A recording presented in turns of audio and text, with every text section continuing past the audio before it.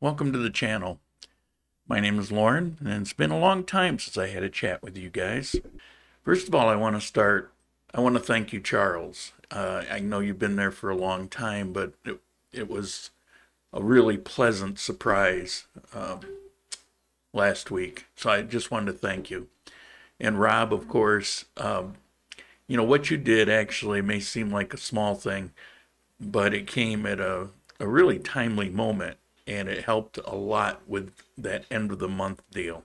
So I want to thank you for that. And of course, I want to thank everybody who supports the channel. It it's made the difference, and it's what kept me going for the last couple years. Now, what's been going on? Well, I've been busy with visitors, you know, and that's that's a good thing. It's uh, kept me quite busy. I've been uh, meeting people. I've been at the Armenia airport. I've been to Potato to the airport. And uh, since uh, the new year, I've been meeting up with about one every week. Uh, it's not every week, but there'll be a couple, and then there'll be one and nobody, and like that. So, but it works out to about one person a week. Now, as for the car situation, I'm working on the license still. I'm about a third of the way through, you know, so I hope that comes to fruition pretty quick.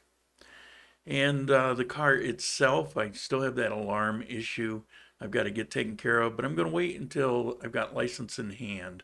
Then I'll drive it over to the dealer, get it taken care of, and everything should be 100%. Every possible thing I could think of, I've already had taken care of on that car. You know, it's got new tires and brakes, and uh, I even replaced the new timing belt with another because uh, when there was no receipt and I was just being told that, it's such a critical item. I decided, you know what? It's not going to cost that much money. Let me just go ahead and change it. Now it turned out that the belt that was in there was was fine, but we put the new one in, put the new idler pulley, and it's good for a couple more years. Now I've been out and around quite a bit lately, and I don't know, it's a little crazy. I mean, it's it's sad, really, about well, first of all, large businesses, international businesses, national businesses, they are thriving.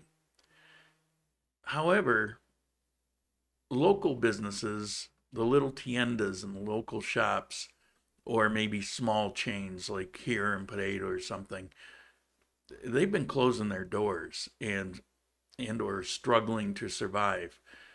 And it's it's disorienting because all of these places that I knew, you know, from walking everywhere all the time. And you go there now and it's like closed doors or there'll be a new type of business there. It's it's disorienting because it feels like I'm not even living in Armenia right now. You know, it, it, curfew was at 10 and then it's at 12 o'clock. Well, I'm not a late person, doesn't affect me directly, but it affects everybody I know here, everybody that lives here. Uh, for example, when did you ever know Colombians not to be out dancing, salsa dancing. Well, now there's no dancing. There's no dance clubs allowed to be open. It's it's crazy. This whole thing has just had a devastating effect. And I would say a scarring effect. I wonder how things will ever return to the way they were. You have situations where it seems like buildings are, are just taking advantage, and not just buildings, but my pet peeve, my building, my last building, building a friend of mine lives in. They have all their amenities. There's swimming pools, gymnasiums, uh, social areas. Those are all closed down for COVID. I would use air quotes, but you know it's a bit overdone. So these things, they're closed down. But then you go to a place like um, Mocawa. There's a couple here now that are staying in Mocawa. And, you know, they're checking what time does the pool open? What time does it close? Well, the pool's open from 9 to 7. Gymnasium, you know, it's open these hours and everything's open. So I guess COVID is only a problem like in my building, but on Mocawa, it's not a problem. You know, it's just, there's no rhyme or reason to any of this stuff.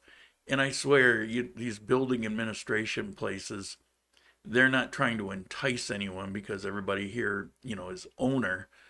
And so look at the money they can save by not having to maintain service the swimming pool and the saunas and the jacuzzis and the Turkish baths and the basically they just rope it off and don't worry about it where before they had to daily service those things. Look how much money goes to the bottom line. Now on the upside, I know downbeat Debbie, but on the upside, uh, the weather has been pretty pretty awesome. We're out of the rainy season, which I don't mind anyway. I actually kind of like it, but we're out of the rainy season and we're into, I guess, what you call spring or summer. Uh, although it doesn't, seasons don't apply. It's either rainy season or not.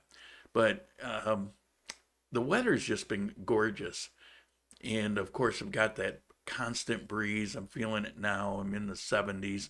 Now, in the afternoon, uh, so people don't misunderstand, I, I will clarify again. In the afternoon, if you're out walking around in an area where you're getting hit with direct sun, that sun will burn the skin off your arms. I mean, you're still near the equator, and those ultraviolet rays can be treacherous.